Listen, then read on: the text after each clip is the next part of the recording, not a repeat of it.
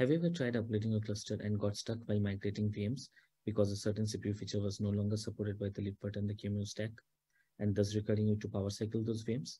Then you're in luck because myself Soham and my colleague Shivam from Nutanix are going to talk about similar issues.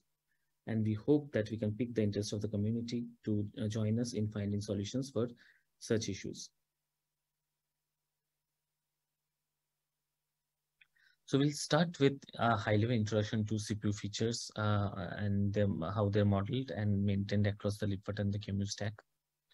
Um, bear in mind that this is not going to cover how CPU features are communicated to uh, KM, uh, to KVM via ioctls or uh, how CPU ID instructions are emulated by the hypervisor. We will be strictly focusing to how CPU features are modeled and maintained across the libvirt and the QEMU stack. So whenever libvirt uh, starts up, it looks for a specific file, which is located in the var cache libvirt QEMU capabilities directory. And this file contains the different QEMU capabilities. So uh, typically the file looks as shown in the slide. Um, it contains uh, the path to the QEMU uh, binary. And it contains other informations related to the host that are obtained from QEMU and uh, the it uh, has the uh, the different CPU features which are available on the host and are also usable or not usable. And uh, in addition to that, it also lists uh, different CPU uh, model models and the versions that can be usable by the um, by libvirt on this host. So uh, in case the file is not present, then libvirt uh, will try to create the file. And to create the file, it will take help of uh, QMP commands. And the first command that it use, uh, issues is the query CPU model expansion uh, QMP command. Using this, libvirt uh, is able to get the list of um, usable or um, unusable CPU features from the QEMU binary.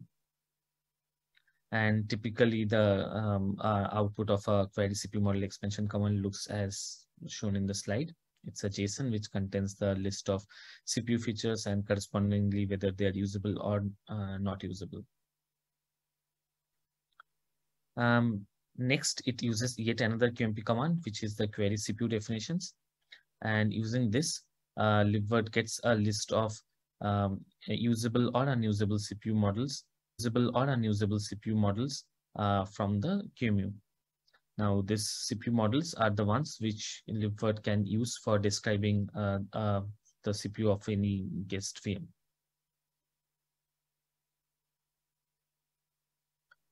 Um, so once the file is uh, generated, uh, libvirt uh, loads the contents of its file and keeps it in the memory.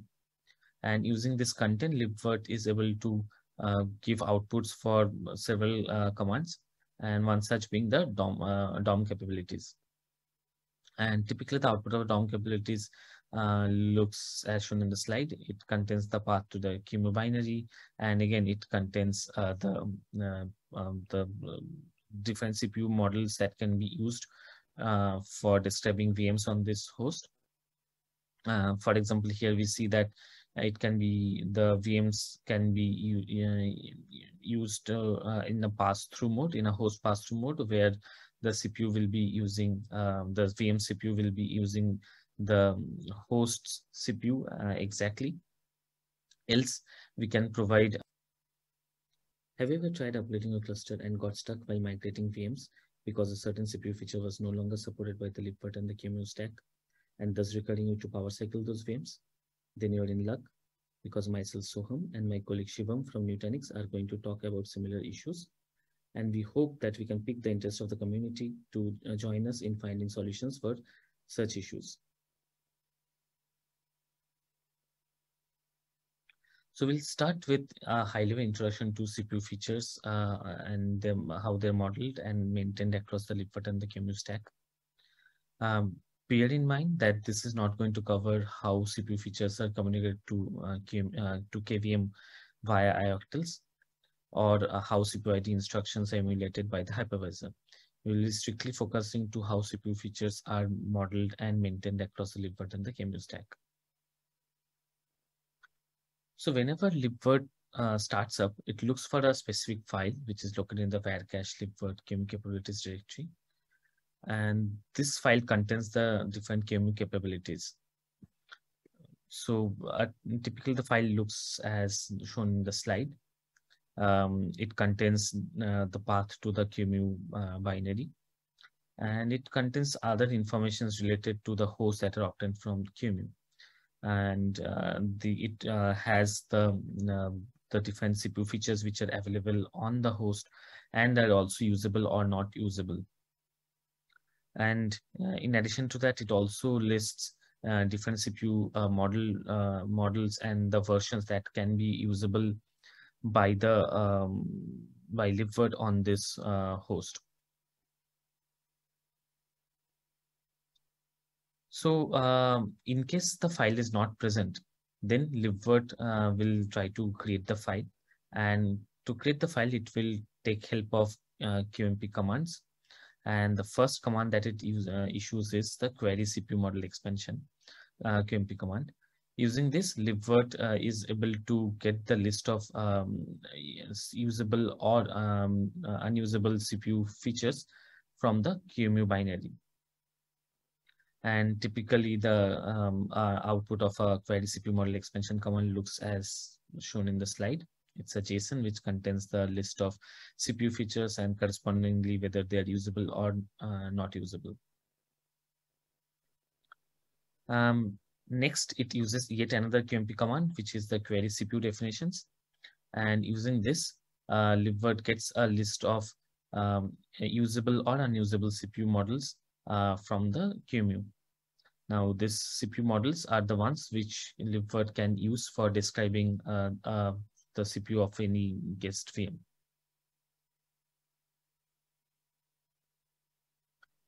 Um, so once the file is uh, generated, uh, libvirt uh, loads the contents of its file and keeps it in the memory. And using this content, libvirt is able to uh, give outputs for several uh, commands and one such being the DOM, uh, DOM capabilities. And typically the output of DOM capabilities uh, looks as shown in the slide. It contains the path to the QEMU binary, and again, it contains uh, the uh, um, the uh, different CPU models that can be used uh, for describing VMs on this host. for example, here we see that it can be the VMs can be used uh, in a pass-through mode, in a host pass-through mode, where the CPU will be using um, the VM CPU will be using the host CPU uh, exactly. Else, we can provide um, a custom um, uh, model which describes the host best. And in this example, it's iStack server along with uh, extra features which can be uh, enabled or disabled on this uh, for the VM. And in addition to this, the contents of the file is also used by libvirt to perform some validation checks um, during the QEMU process launch. So far, we have been talking about how libvirt uh, leverages the use of uh, QMP command to fetch all this information. Now, to close the loop, let's also look at how QEMU um, um, um gives output to the QMP commands. So for that, QEMU maintains the CPU definitions in a file called cpu.c, and this is placed inside the x86 directory, uh, directory inside target and this file typically contains the definitions for each and every CPU models that is supported and along with several versions of those CPU models based on uh, what um, um, CPU features they contained or what CPU features uh, have been dropped from them. Now, with this background on how CPU features are modeled across libvirt and QEMU stack, we can start looking at few issues that we have identified at Nutanix in our production environment. So the first major issue that we want to discuss is the feature deprecations. And the example that we chose here is the deprecation of the pconfig feature. So pconfig was a non-virtualizable feature that got accidentally added in QEMU 3.1. And correspondingly, um, the libvirt, uh, it got added in the libvirt code base as well um, for the Icelake server CPU model in uh, libvirt 4.8. But soon enough, it was uh, the mistake was caught, and it uh, the pconfig feature got removed from the QEMU 4.0 binary, and uh, subsequently uh, it was also removed from libvirt as part of libvirt 5.10 release. But by then the damage was done, and we couldn't um, do anything about a migration path that we exposed uh, whenever we tried to migrate a VM from a source host to a destination host, which has a libvirt vers version uh, lesser than 5.10, but the corresponding uh, QEMU version was greater than 3.1. Um, this is a well-known bug and um, has been um, reported in the upstream community as well. And moreover, um, the libvirt side uh, fix that was added, uh, eh, as you can see, it simply um, checks whether the custom model provider is an Icelake server or not.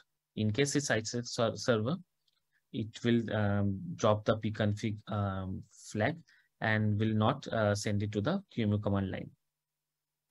But the catch here is that um, that some users might be using even lower base uh, CPU models like KVM64 uh, for uh, maximum migratable, uh, migratable support for the VMs. And in such cases, um, this fix wouldn't work and the pconfig feature can't be um, hidden and they will be passed on to the QEMU command line, which will eventually fail.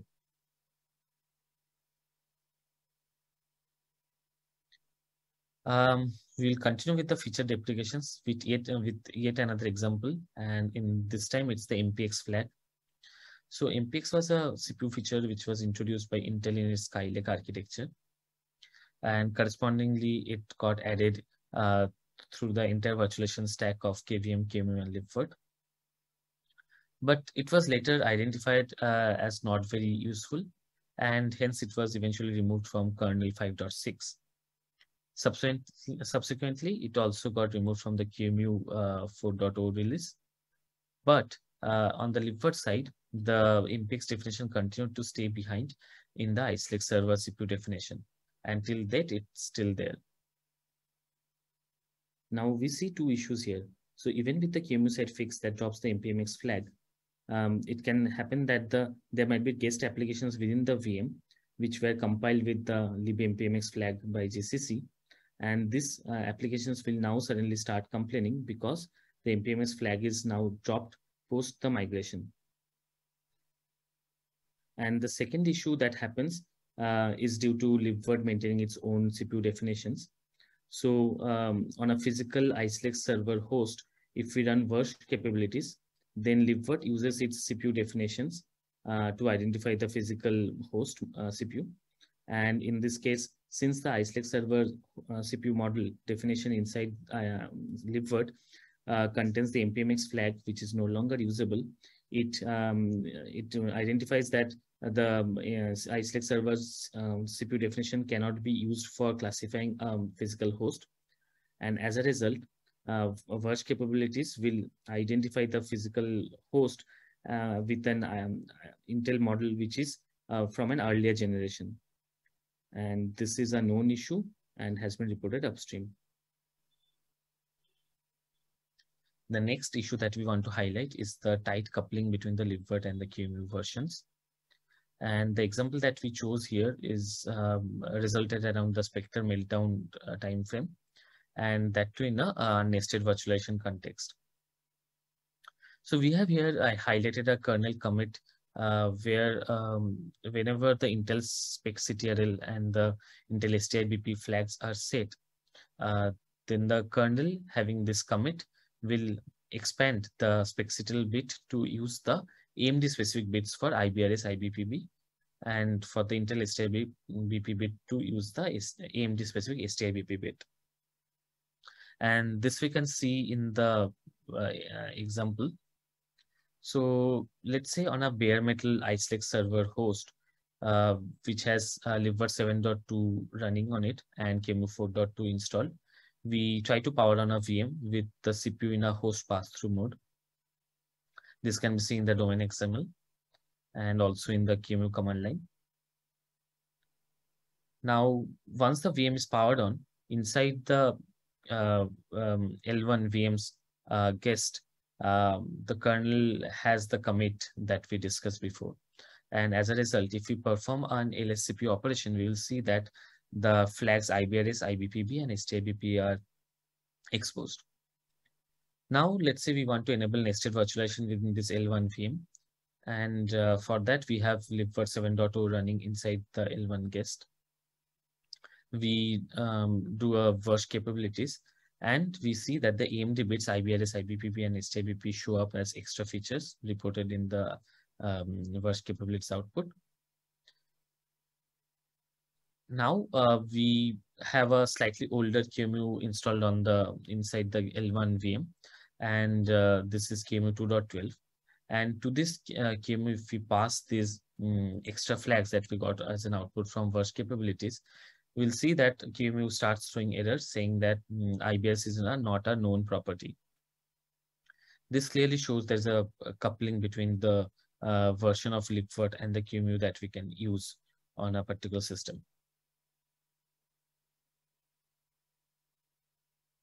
Next, we would like to talk about another um, um, issue or a thing of concern, uh, which is the libvirt uh, checks uh, on um, validation checks on host and guest uh, CPU compatibility. So initially, libvirt used to check the host CPU features by probing the host using the CPU ID um, uh, instruction, and the uh, and it used to uh, store those um, host model informations. And eventually it used to use those uh, host model information to uh, validate against the guest CPU configuration that has been requested to find out whether the guest CPU configuration and the host CPU configurations are compatible with each other or not.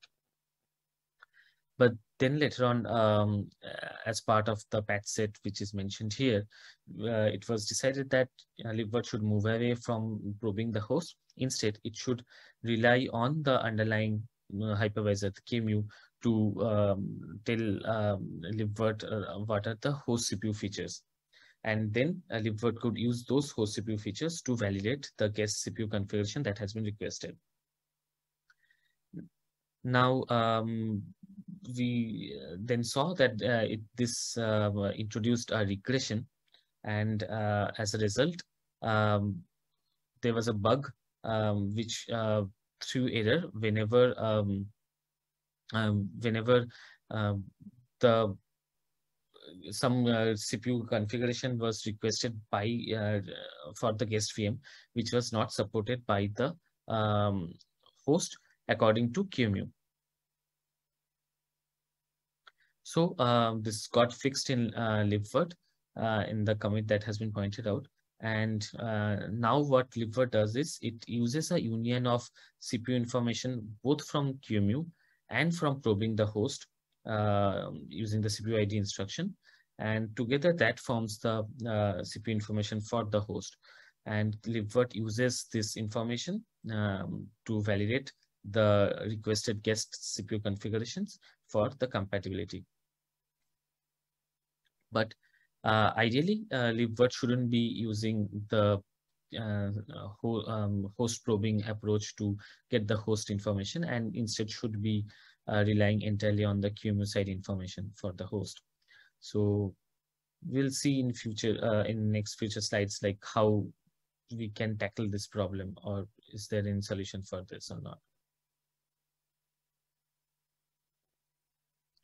So all this, uh, all the issues that we have uh, so far been talking about can be root cause to one major point, and that being there are multiple sources of CPU definitions across the libvirt and the QEMU stack. And because there are multiple definitions, sources of definitions, this causes uh, the mismatch between the definitions across the stack, which has led to multiple issues um, that we have uh, seen. And uh, another issue that we see here is that QEMU uh, itself supports uh, the versioning of the CPU models, but libvirt doesn't uh, give users the freedom to choose the uh, QEMU models and the versions. And Secondly, we see that maintaining um, multiple uh, CPU definitions across the stack has increased the development time and the complexity to maintain uh, the uh, maintain the CPU features across the stack. Meaning that if a new CPU feature is added to QEMU layer, uh, QEMU layer, then the same has to be added to the libvirt as well, and this needs to be monitored continuously. And the reverse is also true, meaning that if uh, suddenly a, a, CPU feature has been removed from QEMU, then someone from the libvirt community also needs to monitor that and remove it from the libvirt codebase as well. This always increases the complexity of the developer's workflow. So having discussed these issues, uh, let's go on to discuss uh, if there is any uh, fix uh, or solution available for them. But before moving on to discussing the fix, let's reiterate the problem statement. So what we see that uh, uh, QEMU supports multiple versions for a single CPU model. For example, Lake server itself has got six different versions but uh, uh, uh, capabilities do not expose those to the users. Um, and it simply gives uh, gives us the base CPU model name. And uh, hence, uh, libvirt also doesn't allow uh, its users to choose any version for the CPU definitions, and uh, only the uh, only the base name models are uh, can be used for defining the CPUs and this is again passed, uh, this base model name is passed to the QEMU command line and QEMU uh, then makes the decision of choosing the version based on the machine type. This again leads to a, a coupling uh, between the uh, the CPU versions, uh, CPU model versions and the machine type, which is something we would like to simplify. So what do we propose? We propose that libvirt should rely completely on the QEMU CPU models and um, it should be so the virsh DOM capabilities uh, command and libvirt should now be able to um, expose the different usable versions uh, that are defined in QEMU to the users. So as in this example, you can see if we now run virsh DOM capabilities, we can um, get to see what are the uh, uh, we can see the, the, the what are the Ice server versions that can be used for uh, defining CPUs for any VM on this particular host. And in turn, the users can uh, look at the output from the virsh DOM capabilities and choose the, uh, the, the intended CPU model version and pass it to the uh, DOM XML and libvirt then uh, looks at the uh, CPU model version from the DOM XML and uh, passes it to the QEMU uh, command line. Another thing that, we want to change here is that um, we want to get rid of the CPU um, host and guest uh, compatibility version validations. Uh, those checks, we want to remove it from the libvirt side. And um, this will basically um, unnecessarily remove the burden on libvirt on uh, probing the host for getting the host details and then comparing with the guest CPU um, uh, models for compatibility checks. Instead, uh, what we want to do, we want to add a new check in the libvirt layer called hypervisor. And this is uh, something similar to as having the none check, which basically skips the validation. And in addition to that, it will pass the enforce flag to the QEMU command line, as can be seen in the example. So what this will do is that this will delegate the CPU model uh, validation checks and the, the, compatibility and the validation checks to the QEMU.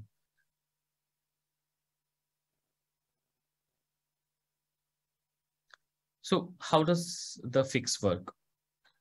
So uh, first, uh, we uh, using the fix, we are able to give a common CPU model and version for both libvirt and the QEMU stack. Uh, with this, we will see that the issues around the pconfig deprecation uh, can be uh, avoided. Uh, libvirt uh, can now directly use QEMU models along with the versions Um, and so, um, so the onus is on the QEMU side uh, versioning of the models to deprecate um, any older CPU features, and then QEMU and then libvirt can use those uh, model version uh, model versions to uh, gracefully deprecate the CPU features. Uh, secondly, um, libvirt no longer needs to maintain the responsibility of the guest and the host CPU compatibility check. So what are the limitations of this approach? First, this approach only works for the libvirt and the QEMU stack. It doesn't cover the other libvirt drivers like LXC and um, Xen, etc. And secondly, uh, this is not the magical answer that will fix all CPU feature issues that we have discussed and many more that are still present in the stack. For example, the tight coupling of libvirt and the QEMU versions is still not resolved by this approach. Uh, this is something which uh, will need uh, further discussions and further um, um, opinions from the community to be uh, to fix it. So in conclusion, we'd like to conclude by saying that the main purpose of the talk was to pique the interest of the community in looking at issues and uh, design around the maintenance of CPU models across the libvirt and the QEMU stack. As part of this talk, we have tried to come up with a solution that simplifies the uh, CPU model uh, handling and its workflow across the libvirt and the QEMU stack. We look forward to sending out patches of our solution onto the community mailing list and we hope to get uh, some interesting feedback and um, improvements on our proposal.